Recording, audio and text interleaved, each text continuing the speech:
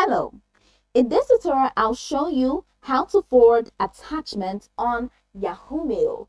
So the first thing I'd like you to do is to go ahead and launch your Yahoo Mail account, which I have done here. Now, if you do not have your Yahoo Mail account, head over to your Google search panel and type yahoo.com. Now head over to the official website for Yahoo and create an account. Follow the on-screen instructions to sign up and to create an account. So once you sign up, it's going to take you to this page, which is the home page here.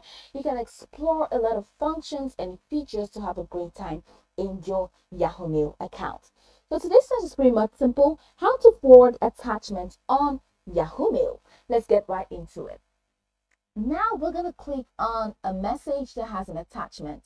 So here's here's how you know that the message has an attachment. You know the icons are just going to be displayed. So here it has um, a picture attachment, and here it has uh, a document attachment.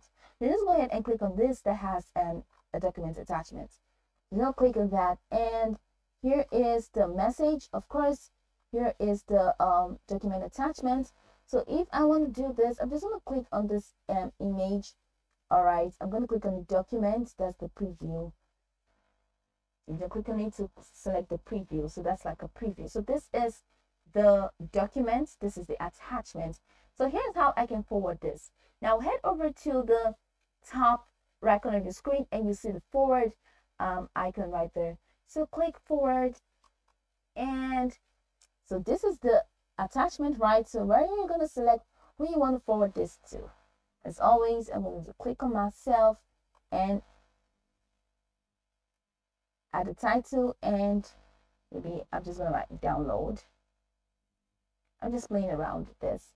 So right here below, I'm just gonna click on the send button and that will be it. That message has been sent. So you can just go to the send tab right here at the left corner of my screen and you see uh okay so here's it download. So here you go. I have been able to forward this attachment on my Yahoo Mail account. So it's pretty much simple. You can go over this video from top to bottom to get acquainted with the steps. And once you're acquainted with the steps, you will be good to go. I hope this video helped your search.